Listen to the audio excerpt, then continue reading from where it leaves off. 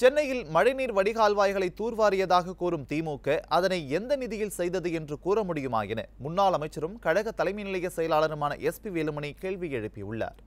அஇஅதிமுகவின் ஐம்பத்தி ஓராவது ஆண்டு தொடக்க விழா பொதுக்கூட்டம் கோவை சாய்பாபா காலனியில் கழக மாநகர் மாவட்ட செயலாளரும் கோவை வடக்கு சட்டமன்ற உறுப்பினருமான அம்மன் கே அர்ஜுனன் தலைமையில் நடைபெற்றது. இந்த பொதுக்கூட்டத்தில் முன்னாள் அமைச்சரும் கழக தலைமை நிலைய செயலாளருமான எஸ்பி வேலுமணி சிங்காநல்லூர் சட்டமன்ற உறுப்பினர் கே ஆர் ஜெயராம் கழக பேச்சாளரும் திரைப்பட இயக்குனருமான சுந்தர்ராஜன் உள்ளிட்டோர் கலந்து கொண்டு உரையாற்றினர். விழா மேடையில் கழக தகவல் தொழில்நுட்ப பிரிவைச் சேர்ந்தவர்கள் கழக தலைமை நிலைய செயலாளருக்கு வீரவாளை பரிசாக வழங்கினர்.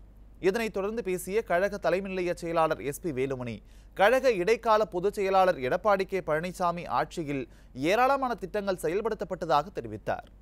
மேலும் சென்னையில் மழைநீர் வடிகால்வாய்களை தூர்வாரியதாக கூறும் திமுக அதனை எந்த நிதியில் செய்தது என கேள்வி எழுப்பினார். திமுக ஒன்றரை வருஷம் நாங்கள் எல்லாம் வடிகள்லாம் கட்டி முடிச்சிட்டு சொல்றாங்க. எந்த ஃபண்டில் நீங்க கட்டினீங்க? பட்ஜெட்ல பணம் ஒதுக்கிங்களா சென்னைக்கு? எந்த திட்டத்தில் நீங்க ஒதுக்குனீங்க? ஏடிபி பேங்க்ல இருந்து ஒதுக்குனீங்களா? ஜெய்கால இருந்து ஒதுக்குனீங்களா? ஜப்பான் கூட்டுறவு முகமையில்? கேஎஃப்டபிள்யூ ஜெர்மன் கூட்டுறவு வங்கியில இருந்து ஒதுக்குனீங்களா? எந்த வங்கியிலிருந்து நீங்க சென்னை வடிகாலுக்கு பணம் ஒதுக்குனீங்க? இதை கேட்கணும் இல்ல நெறியாளர். ஒன்றரை வருஷத்துல முடிச்சிட்டாங்க இப்ப தண்ணி இல்ல. போன தடவை தூரே வரல. போன மலை தூர் வரல திமுக வந்ததும். தண்ணி நின்னுச்சு. பூரா எல்லா பக்கம் அடைச்சு வச்சிருந்தாங்க வடிகால் கட்டுறதுக்கு. சரியா எதுவுமே பண்ணல. இந்த தடவை கம்மியான மழை பெஞ்சது. அதுக்கே தாங்க முடியல அவங்க.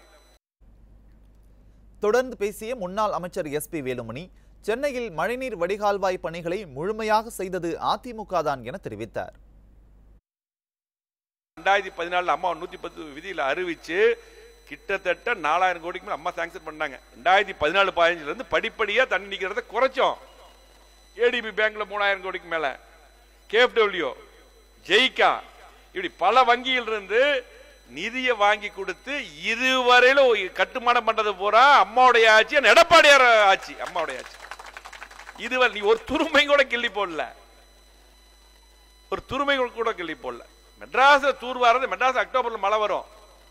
எப்பவுமே ஆகஸ்ட் 15 சுதந்திர தினம் கொடியேற்றுனதுமே தூர் வாரணும். தூர்வாரி முடிச்சிருவோம். அப்போ மழை வரும்போது சரியா இருக்கு. நீ எங்க தூர் எந்த மண்டலம் தூர் வாரின? சும்மா பத்தொன்பதுவா வந்து நாங்கள் செஞ்சுட்டோம் நாங்கள் செஞ்சிட்டோம்னா எல்லாமே அதிமுக செஞ்சது. நீ எதில் பணம் ஒதுக்குன்னு சொல்லு.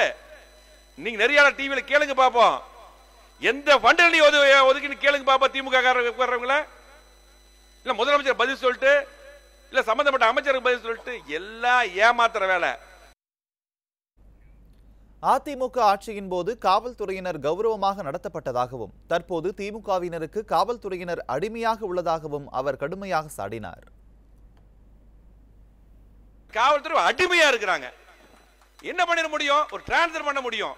திமுக அடிமையாக இன்னைக்கு யாருக்கு பொதுமக்கள் பாதுகாப்பு கிடையாது? பொதுமக்களுக்கு என்ன பாதுகாப்பு இருக்குது? எங்க பார்த்தாலும் கஞ்சா விற்கிறான் எங்க பார்த்தாலும் பிரச்சனை. எங்க பார்த்தா வழிப்பறி. எங்க பார்த்தா செயின் பறிப்பு. இன்னைக்கு கோயம் மாவட்டம் எப்படி மாறிட்டு இருக்குது? தொண்ணூத்தெட்டு மாறிடுமான்னு பயமா இருக்கு. இன்னைக்கு பாத்தீங்கன்னா இன்னைக்கு இந்துக்கள் இஸ்லாமியர்கள் இங்க ஒற்றுமையா இருக்காங்க. இன்னைக்கு அதுக்கெல்லாம் பங்கம் வந்துரும் போல் இருக்கு. அந்த மாதிரி ஒரு சூழ்நிலை இன்னைக்கு காவல்துறை முழுமையாக இன்டெலிஜென்ஸ் உளவுத்துறை ஃபெயிலியர் ஸ்டாலினுக்கு பின்னாடி போய் ஜால்ரா போட்டிருக்காங்க உளவுத்துறை ஐஜி. பின்னாடி பிஏ மாதிரி போயிட்டு இருக்காங்க. எந்த போலீஸ் செயல்படுறாங்க? இந்த மாதிரி நம்ம கூட்டம் நடத்தினா அண்ணா திமுக கூட்டம் போறது அண்ணா திமுக பொய் வழக்கு போறது. இதுக்கு தான் போலீஸ் இருக்கு. எதுக்கு போலீஸ் இருக்கு?